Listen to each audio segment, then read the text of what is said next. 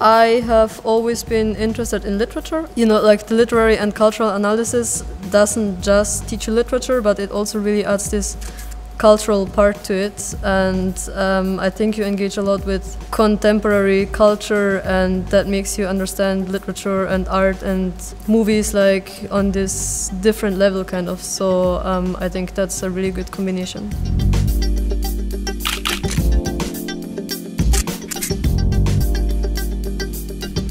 At the moment, I'm studying fashion design at another faculty, and even though uh, this um, program is really hands-on, it doesn't really cover a theoretical approach to studying, and I um, was looking at LCA to learn more theoretical skills in analyzing and I found um, the seminars and lectures really helpful for looking at the world and um, like reflect on the objects that you're um, seeing on an everyday basis. Mostly that you get a lot of general background knowledge on um, a lot of things that are going on right at this moment. So it's really um, focused on contemporary debates, I think, like for example queer studies or racial studies or um, even ecology.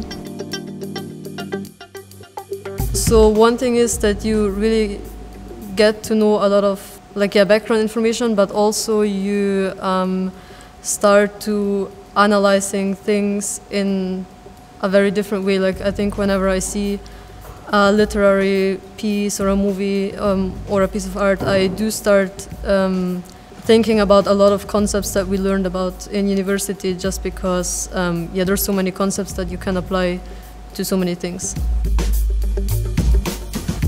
Well, so the very first course we had, it was called Analysis and Interpretation 1. That was a really good course because um, we did learn a lot about poetry and we um, learned about like some of the most famous poems. Like it was more of a basic knowledge on poetry that we required, but I really enjoyed that. And another course that was also in the second semester of the first year was um, called Key Concepts.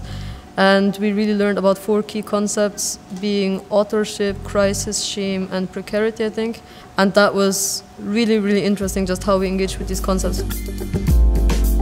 I um, find the spirit of the city quite fast-paced, and um, yeah, while there are so many things going on at the, uh, at every moment, you find yourself as a student also being in motion quite a lot. In Amsterdam, you find a lot of um, routes um, where you can connect with uh, different kind of people.